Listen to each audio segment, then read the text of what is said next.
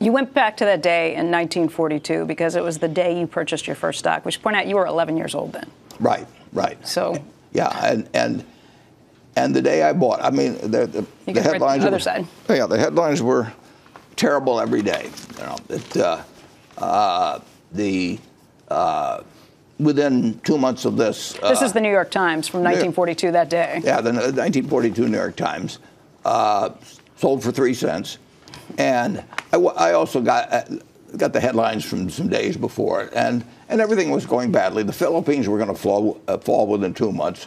Things were grim in Europe.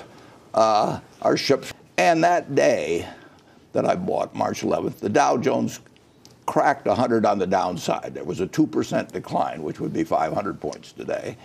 And uh, the night before, on March 10th, I said to my dad, I want to go all in. I had $125, and I put every bit of it in three shares of Cities Service Preferred, and uh, which is still my personality, is to shove it all in. As we've seen with Apple. Uh, yeah, somewhat. And uh, as I pointed out to the crowd, I bought that stock at 38 and a quarter. It was down from 84 the year before, and it was down from 55 in January. And I thought, I'm really buying it cheap. So it went down to 27 after I bought it.